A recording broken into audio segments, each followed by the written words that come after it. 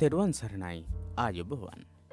හය ශ්‍රේණිය කෙටි සටහන් බුද්ධ ධර්මය තිලොවට ගුරු බුදු සමිතු කියන පාඩම පිරිවෙන දහම් පාසල අපේ YouTube නාලිකාවෙන් මොනවද කරන්නේ කියලා අමුතුවෙන් ඔයාලට කියලා දෙන්නට ඕනේ නැහැ. විභාගවලට ගොඩක් ශක්තියක් ලබා දෙනවා අපේ පිරිවෙන දහම් පාසල YouTube නාලිකාවෙන්. සියලූම ශ්‍රේණිවලට අදාළ සියලූම විසියන්වලට අදාළව අපි එක එක විදිහේ උපකාර එක එක විදිහේ මඟ පෙන්වීම් අපි ලබා දෙනවා. ඉතින් දිගටම අපගේ නාලිකාවත් එක්ක සම්බන්ධ වෙලා පහසුවෙන් ලේසියෙන් කම්මැලි නොවී ඉගෙන ගන්න අවස්ථාව ලබා ගන්න. අපි බලමු තිලොවට ගුරු වූ බුදු සමිතු කියන පාඩමේ තියෙන කරුණු කෙටි සටහනක් විදිහට කෙටියෙන් ඉගෙන ගනිමු. පළවෙනි අංකේ විදිහට දුවපුතේ අපි බලමු සුද්දෝදන රජතුමා කුමරුගේ වාසය පිණිස සාදවා දුන්නු මාලිගා තුන. අපි පොඩි පන්තිවල ඉඳලම මේ මාලිගා තුනේ නම් ඉගෙන ගන්නවා. රම්ය සුරම්ය සුභ රම්ය සුරම්ය සුභ රම්ය සුරම්ය සුභ කියන මාලිගා තුන තමයි සුද්දෝදන මහරජතුමා හේමන්ත වස්සාන ගිම්හාන කියන කාල තුනට සිද්ධාර්ථ කුමාරයට ඉන්නට හදලා දුන්නු මාලිකා තුන. රම්ය සුරම්ය සුභ දෙවනි අංකය දෙව්දහනුවර සුප්‍රබුද්ධ රජුගේ දියණිය වන්නේ. සුප්‍රබුද්ධ රජතුමාගේ දියණිය තමයි යසෝදරා කුමරිය. යසෝදරා කුමරියත් එක්ක තමයි සිද්ධාර්ථ බෝධිසත්වයන් වහන්සේ විවාහ වුණේ. සරණ පාවා ගත්තේ. යසෝදරා දේවිය සහ සිදුහත් කුමරු තමයි විවාහ වුණේ. සුප්‍රබුද්ධ රජතුමාගේ දියණියක් තමයි යසෝදරා කුමරිය. යසෝදරා කුමරියට සහෝදරයෙක් හිටිය අපි ගොඩක් අහලා තියෙනවනේ. දේවදත්ත හාමුදුරුවෝ කියලා කියන්නේ. දේවදත්ත කුමාරයා යසෝදරා කුමරියගේ සහෝදරයෙක්. ඊළඟට තුන්වෙනි අංකය සිදුහත් කුමරු සරණ පාවා ගත්තේ මොකක්ද මේ සරණ පාවා ගන්නව කියන්නේ. විවාහ වෙනවා කියන එක. දෙන්නෙක් විවාහවෙන එකට කියන තවත් වචනයක් තමයි සරණ පාවා ගැනීම කියන එක. ඉතිං යසෝදරාදේවිය එක්ක තමයි සිද්ධාර්ථ බෝධිසත්වයන් වහන්සේ සරණ බන්ධනයට පත් වනේ විවාහවනේ. හතරවෙනි අංකය. සිදුහත් කුමරටු ගිහිගේ කලකිරුණේ සිදුහත් කුමාරයට ගිහිගේ පිළිබඳව හොඳටම කලකිරුණ. ඒ නිසානේ මහා අභිනිස්ක්‍රමණය කළේ ගිහිගේ අතහැරලගියේ බුද්ධත්වයට පත්වෙනවා කියන අරමුණෙන් ගිහිගේ අත්හැරලා යනයකට තමයි මහා අභිනිස්ක්‍රමණය කියලා කිව්වේ. ඉතින් ඒ සතර පෙරනිමිති දැකීම නිසා කලකිරීමට පත්වෙලා. අපි බලමු ඊළඟංකෙන් මොනවද මේ සතර පෙරනිමිති කියන්නේ කියලා. සතර පෙරනිමිති. හැරමිටියක් අතින්ගත් මහලු මිනිසෙකු මහල්ලෙකු දැකීම පළවෙනි පෙරනිමිත්ත. රෝගී වූ මහලු මිනිසෙකු. රෝගී වෙච්ච රෝගියෙක් දැකීම. මහල්ලෙක් ඊළඟට ලෙඩෙක් අපි එහෙමත් දාගම එතකොට හොඳයි. ලෙඩෙක්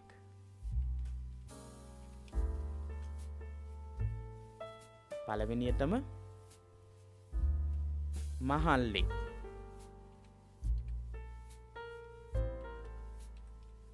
මහළු වයසට පත්වෙච්ච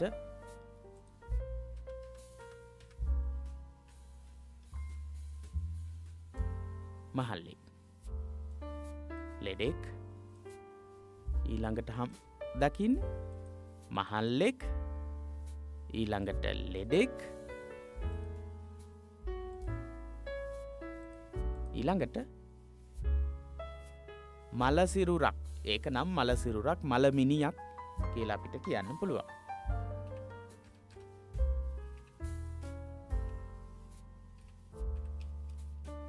මලමිනියක් මැරිච්ච මිනිහෙක්. මැරිච්ච කෙනෙක්ගේ මල සිරුරක් තමයි දකින්නේ තුන්වෙනුවේ තුන්වෙනි දවසේ. තුන්වෙනි පැරණිමින්ත විදිහට. ඊළඟට කසාවතක් පොරවාගත් සාන්ත වූවෙකු. කවුද? පැවිද්දෙක්.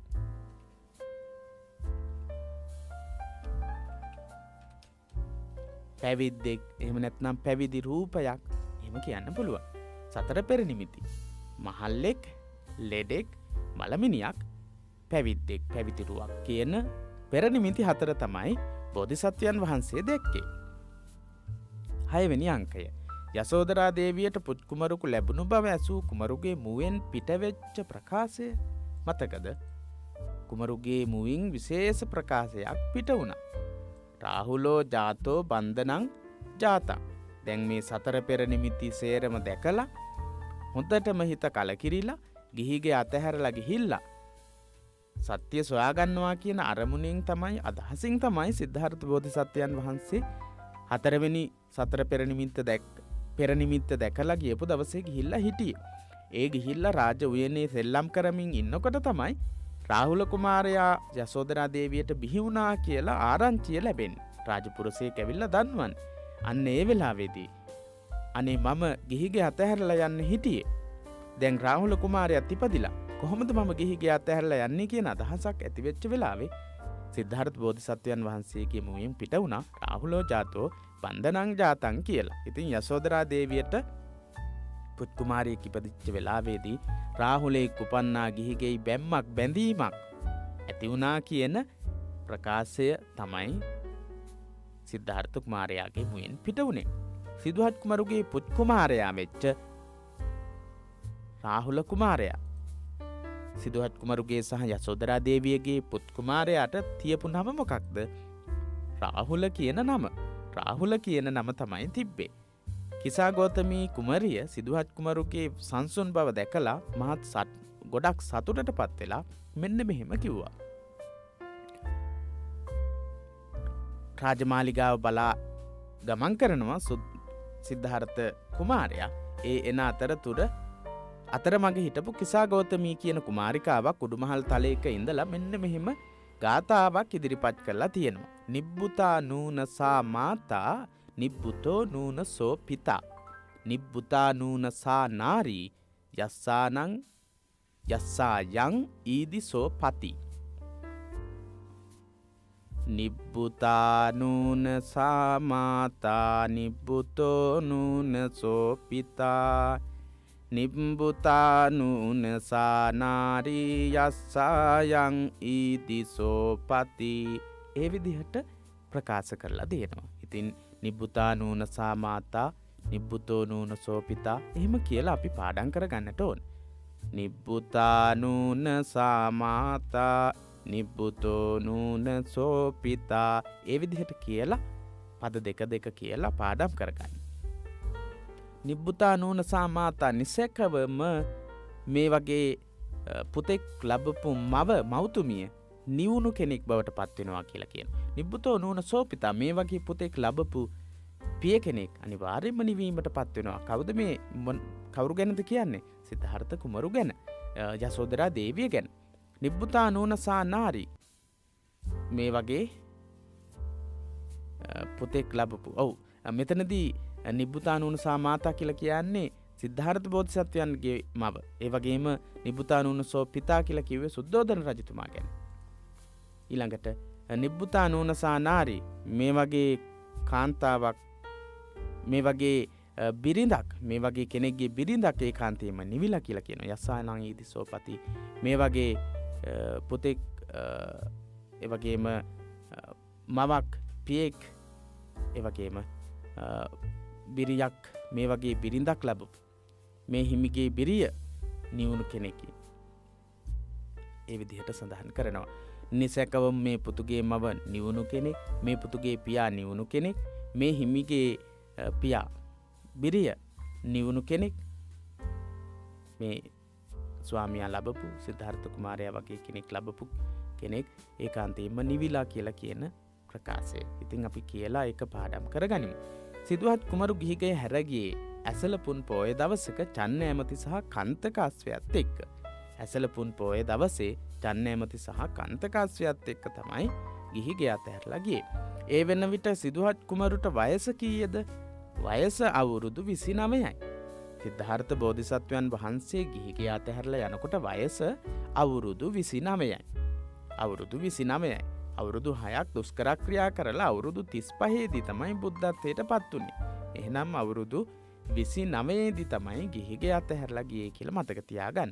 ගිහිගේ හැරයාම හඳුන්වන නම මහා බිනිස්ක්‍රමණය මහා අභිනිස්ක්‍රමණය කියලා කියන මහා බිනිස්ක්‍රමණය මහා අභිනිස්ක්‍රමණය කියලා හඳුන්වනවා. අභිනිස්ක්‍රමණය කියනවා මහා අභිනිස්ක්‍රමණය කියලා කියනවා මහා බිනික්මන කියලා කියනවා ඒ විදිහට බුද්ධත්වයට පත්වෙනවා කියන අදහසින් සියලූම ගිහි සම්පත් සැප සම්පත් අතහැරලා යන එකට තමයි මහා බිනිස්ක්‍රමණය කියලා කියන්නේ.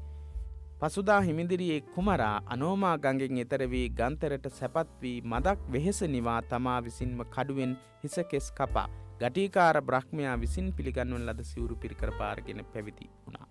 අනෝමා ගඟින් තමයි එතර වනේ අනෝමා ගඟින් එතර වෙලා. ගංතෙරට සැපත් වී ළඟට ගං තෙරට ගගේ තෙරට එම නැත්නම් වෙරලට එනවා මදක් වෙහෙස නිවා මදක් වෙහෙස නිවනවා. ඉළඟට තමා විසින්ම කඩුවෙන් හිසකෙස් කපනවා. හිසකෙස් තමාම තමයි කපන් ඒ හිසකෙස් කපපු කඩුවට කියන්නේ මගුල් කඩුව කියලා. මංගල කඩුව කියලා.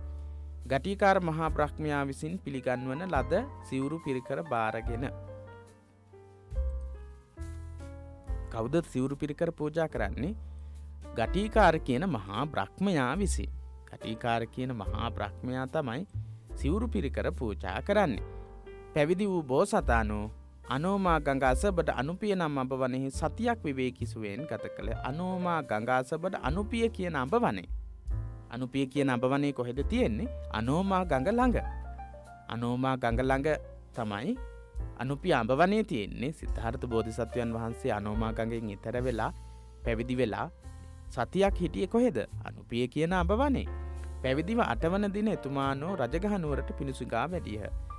පැවිදි වෙලා අටවෙනි දවසි තමයි රජගහනුවරට පිණුසිගා වටින්නේ එතනදි තමයි බිම්බිසාර රජතුමාගේ රාජ පුරසයෝ සිද්ධහරත බෝධිසත්වයන් වහන්සේව දකින්නේ එහි පාලකියාව සිටිය කවුද රජගහනුවර රජගහනුවර රජකම් කළේ බිම්බිසාර කියන මහරජතුමා බිම්බිසාර රජතුමා සිදුහත් බෝසතාණන් වහන්සේට බුදු බව ලබා පළමුුව මගේ රාජ්‍යයට වැඩින්නේ ඉල්ලා සිටියේ මගේ රාජ්‍යයට පළවෙනියටම වඩින්න බුද්ධත්වයට පත්වෙලා පළවෙනියටම වඩින්න කියලා කවුද ඉල්ලීමක් කරන්නේ බිම්බිසාර කියන මහරජතුමා රජගහනුවරදී. හොඳ ඊළඟට දා හත්තනි අංකයින් පසු කුමරා ධර්මය ඉගෙනගත් ගුරුවරයා කවුද. ගුරුවරු කවුද.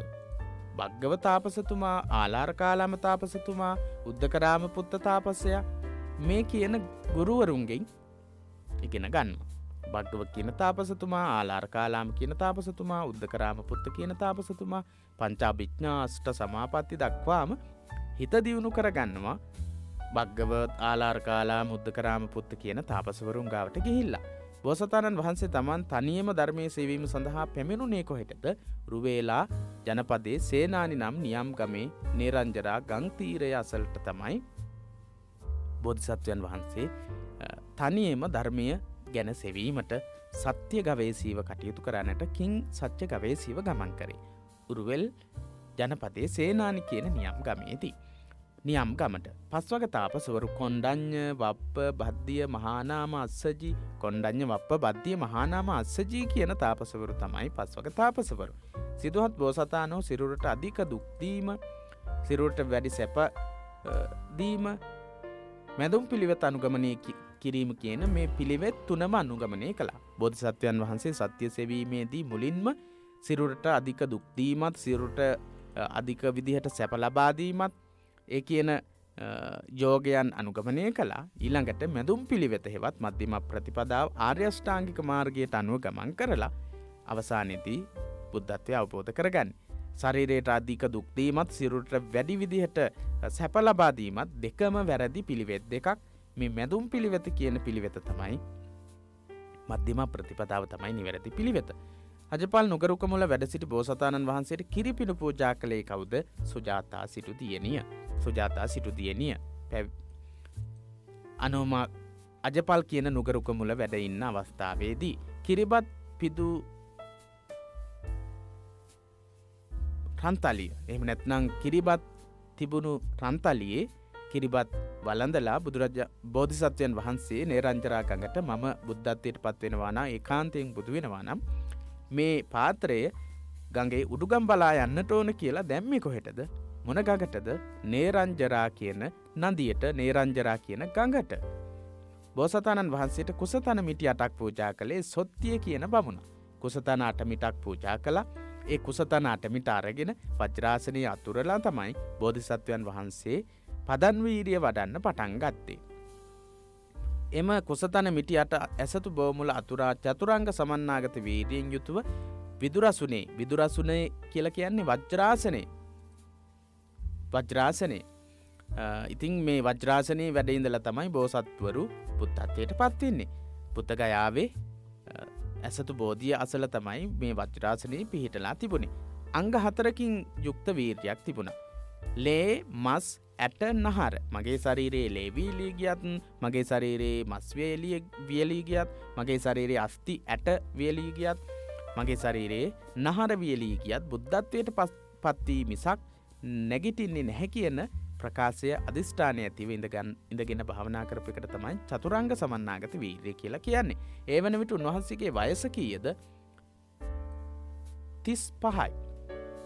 තිස් පහයි බුද්ධත්වයට පත්වෙන්ට ආසන්නයි.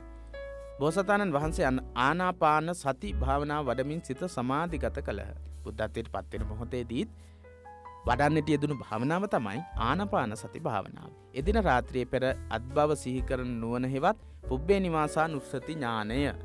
ත්‍රිවිද්‍යා ඥානවල පළවෙනි ඥානය මොකක්ද පුබ්බේ නිවාසා නුස්සති ඥානේ පූර්ව ජාති පෙර ආත්මභාවයන් වලදී තමන් හිටපු ආකාරයන් පිළිබඳව දැනගැනීමේ ඥානය කියනෙ ඥානයත් මුලින්ම පෙර යම් කාලයේදී මධ්‍යම යාමේදී සත්වයාගේ උපත්තිය සහ මරණය සිදුවෙන ආකාරය දැකීමේ නුවන හෙවත් චුතූපපාතඥානය පහල කරගන්නවා. මේ තුනත් අනිවාරයෙන් හොඳට පාඩන් කරගන්න මතකතියාගන්න චුතූපපාත ඥානය චුති උපත්ති පුද්ගලයා එක් භවයකින් චුත වෙන විදිහ තවත් භවයක තවත් භවයකට වැටෙන ආකාරය ඒ විදිහට දැනගන්නා වූ දන්නා වූ නුවන චුතූප පාත ඥාන. පස්්්‍යම ජාමයේ එකයන්නේ අලුයම් කාලයේදී උන්වහන්සේ පටිච්ච සම්පාදය පදනම් කරගෙන විදර්ශනාවරලා සියලූම කෙලෙස් නැති කරලා ආසවක්කහය ඥානය උපදවා ගත්තා.